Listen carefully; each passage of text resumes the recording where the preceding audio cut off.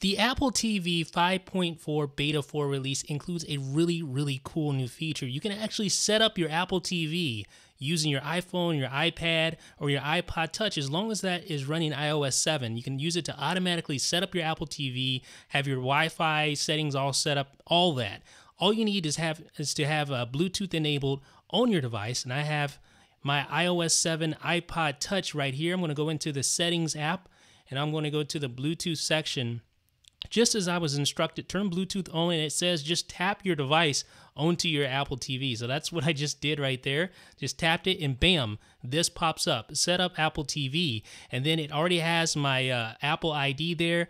All it needs is my password, so I'm going to go ahead and put my password in. I just did that. You can see it's connected to the Apple TV and then it's going to ask you if you want the Apple TV to remember your password. So this is great because you don't have to enter any annoying passwords. You don't have to enter any Wi-Fi setup, SSIDs or passwords. It's all configured automatically right from your iOS device. And right now we're going to go ahead and pan on up to our Apple TV device here. And then I'm going to show you a, a direct feed from my Apple TV showing the uh, the results of this setup process. So you can see it says connecting and it just takes a little bit of time to get all the settings uh, configured, get all your Wi Fi connection configured, all that jazz, and then we will be good to go. So it's contacting the activation server right now. It'll just be a few more seconds. And this is really handy because the thing I hate most about the Apple TV is just trying to set that thing up with that little bitty remote control.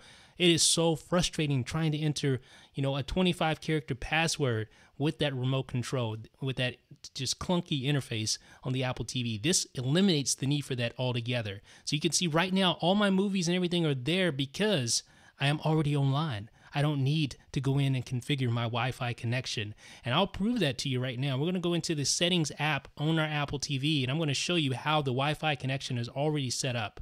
So go to settings here and then go to general.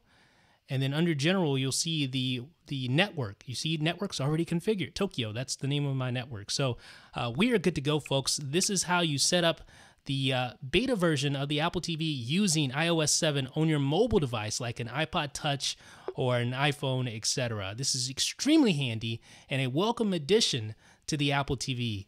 What do you guys think about this new setup? Let me know what you guys think in the comment section. This is Jeff with iDownload Blog.